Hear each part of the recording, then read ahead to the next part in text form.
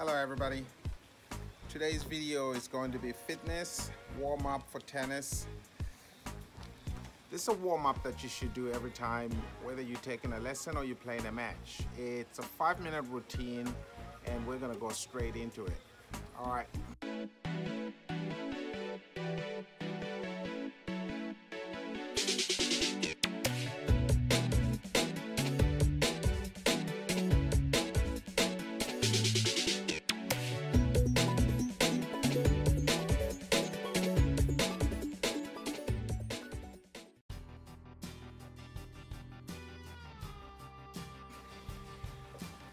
Start off with jump rope.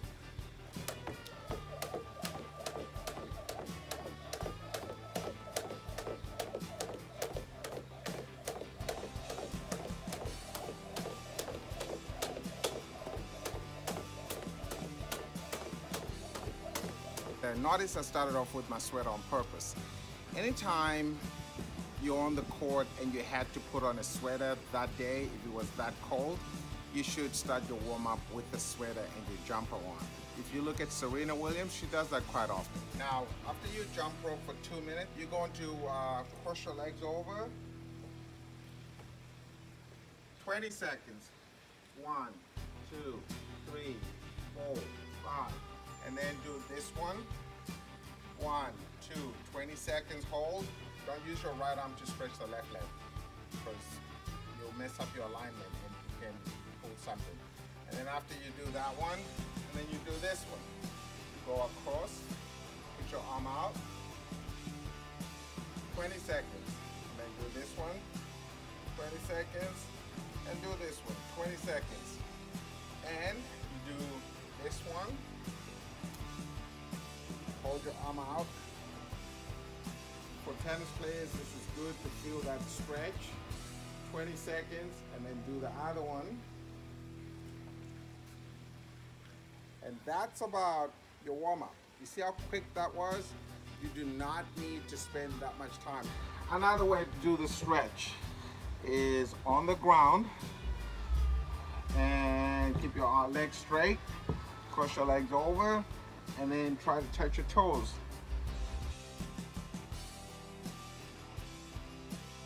See how long you can do this, how many steps you can go, 30 seconds. All right, here we go.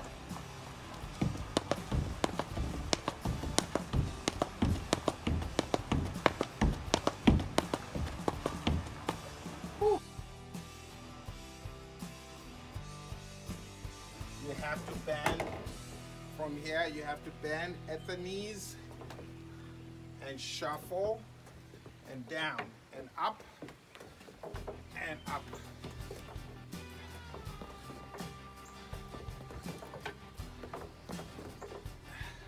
This one, I would go either time or reps. This one you can, it's interchangeable. You can change either way.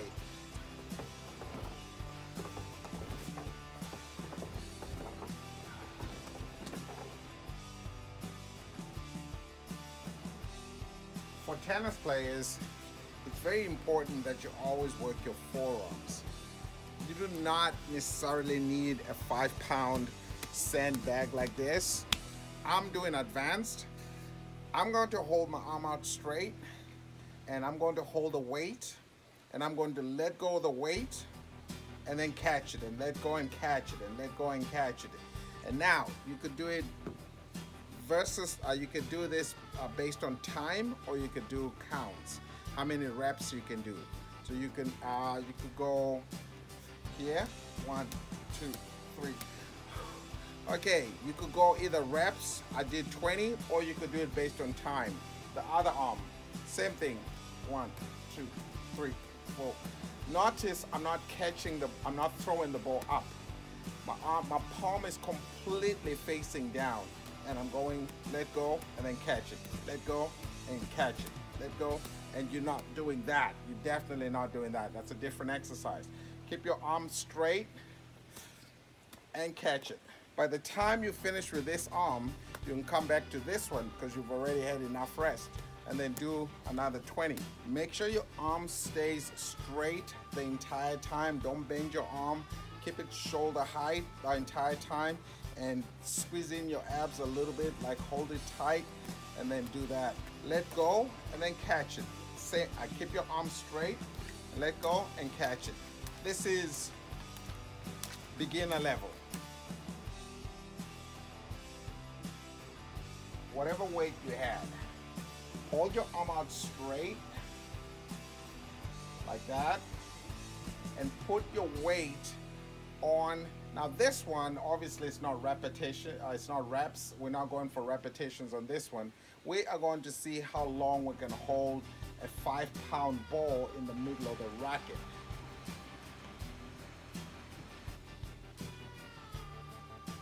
And hold it squeeze it.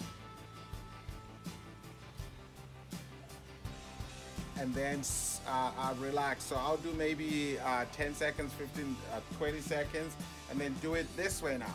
This one is hard. So I would start off with this one, say with a lighter weight. Again, remember, if it hurts, you need to stop and get a smaller weight.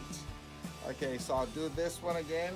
Remember, we're trying to work on, emphasize on the grip. We're working on the grip strength. So make sure you got the correct grip, your fingers spread out and everything and almost like you're about to hit a backhand volley with that same grip. And then you just steady it like that. And then hold that for 20 seconds 25 seconds 30 seconds. Up to you. Just make sure you write it down so you can check to see if you're improving. And then now do this one. Same thing. If you use a two-handed backhand same thing again. So start off with this one 20 seconds do it this way. 20 seconds. Now, just to give you an idea, whatever weight you have, my left arm is a little bit weaker than my right arm.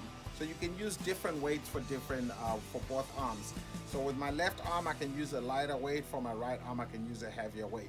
But if you're holding your arm out straight with the correct grip, shoulder level, if you cannot support it for more than three set uh, for more than five seconds get a lighter weight. Because the idea is to kind of hold it for about 20 seconds. So if you can't hold it for 20 seconds just start off with a lighter weight. That's forearm workout right there. That's forearm workout. That's what I'm talking about.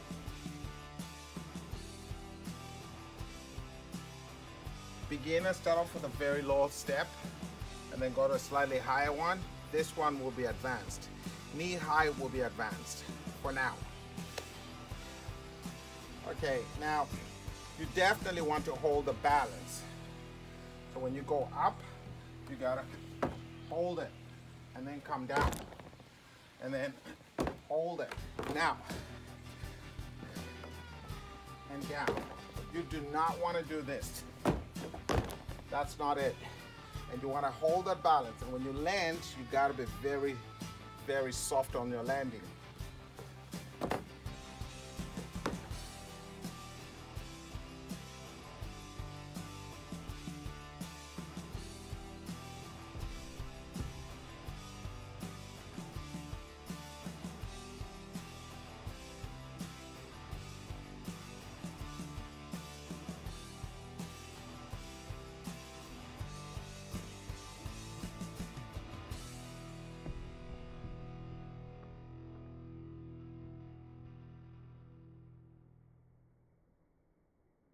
Can add a little bit of a challenge.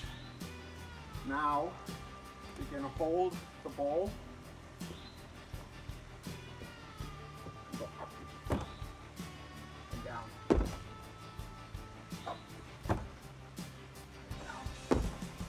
Hold it for three seconds. Yeah. So you're not bouncing back and forth. You don't want to be doing this. You don't want that. Jump rope, two minutes. Stretch, three minutes. Do one exercise. It's a 20 second exercise. Take a 20 second break and do three sets of that. You'll be done with the exercise in three minutes. And that's one exercise. You do another exercise of three minutes. So between your stretching and exercising and everything else, everything took 10 minutes.